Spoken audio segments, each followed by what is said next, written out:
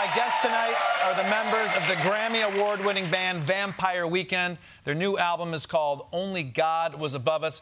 Please welcome Ezra Koenig, Chris Baio, and Chris Tomson.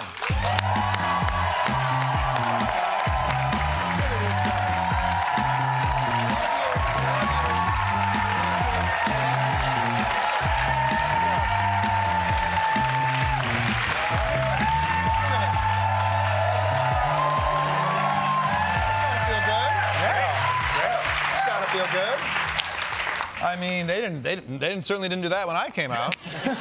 so, you all met while you were at Columbia together, which I'm pointing to uptown. That's right. Um, what was there a backup plan if this didn't work out? Let, let's let's start with you, Baio. Uh, I was gonna maybe teach math for two years. Teach after. math. Yeah, okay. I took the LSAT and stuff. Yeah, and, he aced uh, it. He should say. Yeah. He aced it. I did okay. rather well at it. Yeah. Yeah. Uh, but I like Okay. being a musician better than uh, being a lawyer. What was your backup plan, Ezra? Well, there, there was one year where I had a real job after graduation before the band took off, and uh, I taught eighth grade in uh, Bed-Stuy, Brooklyn. No way. Oh, wow. What did you teach?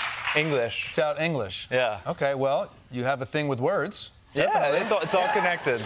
What about you, CT? I also had a real job for one year. Okay. Uh, not too far from here, I used to work at Sony Music Studios Right. as an entry-level tape archivist. Tape archivist. Yeah. Yeah, and that doesn't even exist now, does it? I don't think it does. No, it doesn't. um, your album is tremendous. I, I Thank love you. it. Thank you. This, the song, yeah. Um, I read somewhere that Vampire Weekend has a superb return to form. What, I mean, are we thinking about this in the studio and recording? Are we thinking about our form? What is Vampire Weekend's form?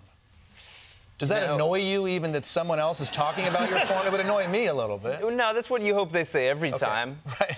We returned to form. We- Yeah. We, went home and we returned to the form. Right, right. Um, the, it, it's hard to say because we've made five albums now and they're Yeah. all pretty different from Yeah. one another. yeah.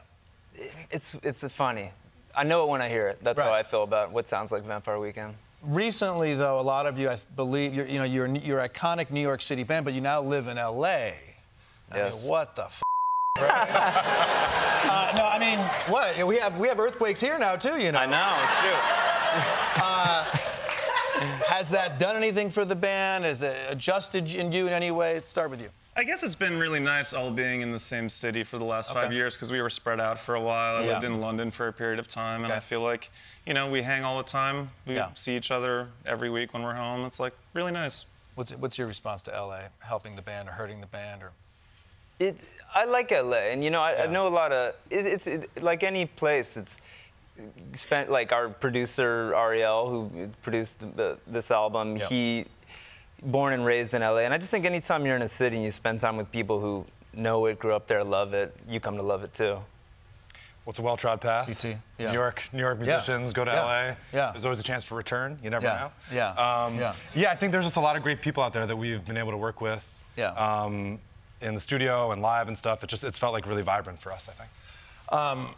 I can certainly say, as a comedian, uh, going somewhere new always helps a little bit. You know, it's, well, yeah, I got some new ideas. In LA, you don't interact with anybody. I'm sitting on the bus now instead. But um, um, Only God Was Above Us. Explain the title of the album a little bit.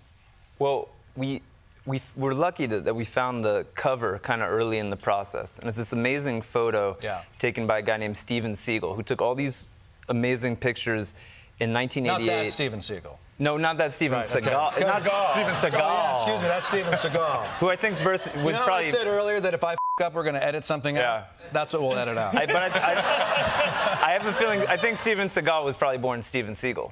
Absolutely, I think you're right. He changed but, his name. Thank you the- very much. But Yeah. so the, there's a photographer, Steven Siegel, and he, the images were all taken in this, what he described as a subway graveyard. So all the Yeah. cars were overturned. So he took these really surreal pictures of the, Yeah. these gritty 80s New York um, subway cars.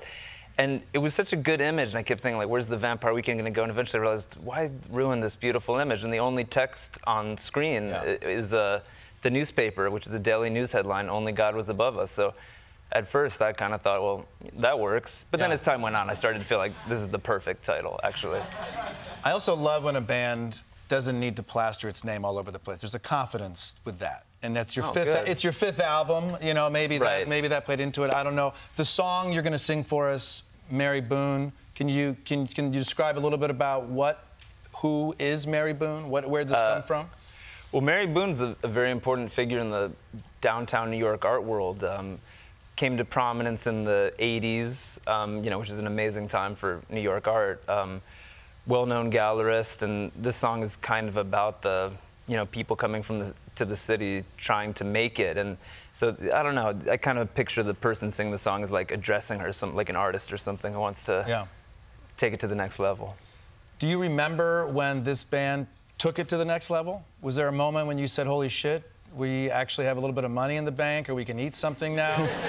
I don't have to f- teach math for the rest of my life. No, not well. One moment where I felt like maybe early on we leveled up was we played our first gig in Brooklyn in 2006 at Pete's Candy Store. Okay. For about for Yeah. about 30 people, but Yeah. it was the first time. They're all here, apparently. Well, yeah.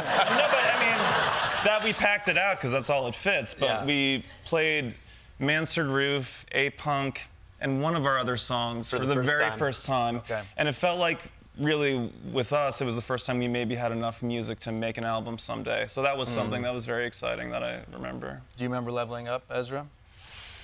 I mean, yeah, there's been so many many small levels? small Yeah. levels up. I mean, look, like like you said, the band started in New York. We all have deep New York connections and heritage. So even on our last album, 2019, when we finally played the Garden, I mean, because that's true. From Pete's Candy Yeah. Store to the Garden.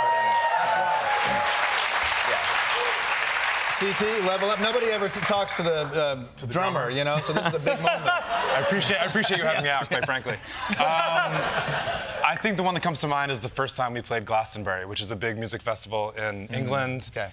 And you know, we're like 24, like 24 year old knuckleheads, and Yeah. all of a sudden we're we're playing for 50,000 Britons, and it's just Right, like, right. oh my goodness, wh- how did I get here? One of those moments where it was Yeah. really just, I barely remember the set, but I remember the feeling right before it. That's so cool. I say that to myself every time I sit here. How did I get here, and how stupid is everybody else to put me here?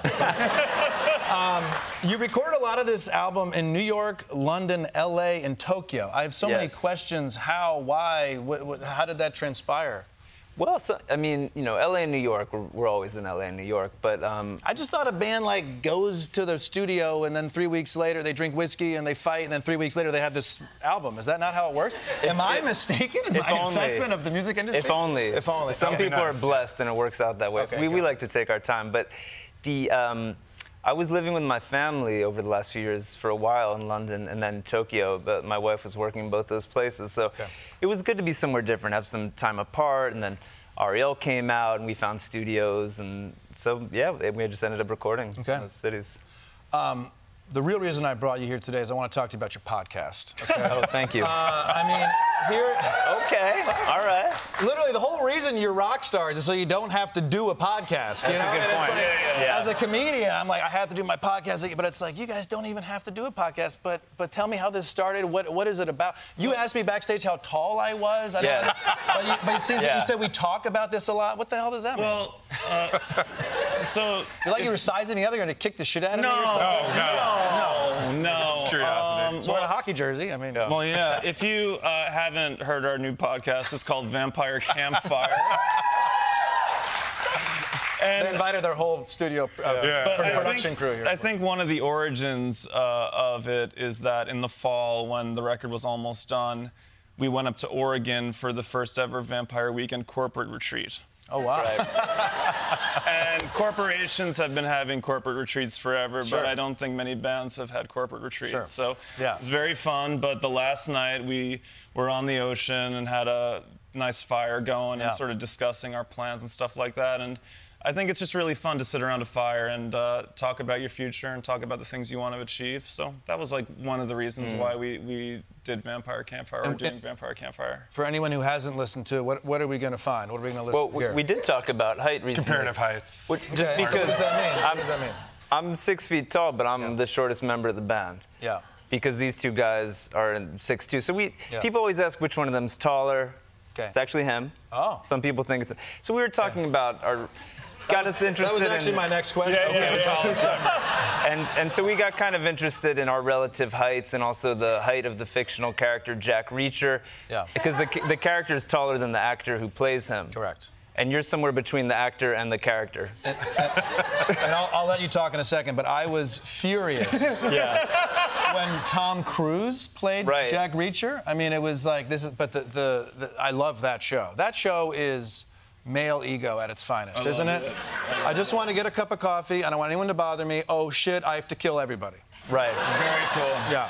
Uh, what's the podcast do, do for you? What, what- Well, you know, I think uh, a big part of being in a band Yeah. is, can I say bullshitting? oh my God, Uh, yes, please. And just kind of like chopping it up on Yes. the bus, Yeah. in airports. Yeah. Like there's a lot of sitting near each other while in motion. Right. Uh, it's kind of the biggest part of being in a band. True. Um, and yeah, I think we just were thinking about this record and how it feels and how it feels for us to be together. And it was just kind of felt like, Yeah. oh, this is something we're kind of doing anyways. Like this is something we could share and it contextualizes in a cool way. Who doesn't want to hang out with their favorite band? And that's what the podcast can be. So, Vampire Weekend, uh, Baio, Ezra, CT, thank you very much. Thank you. Only God was above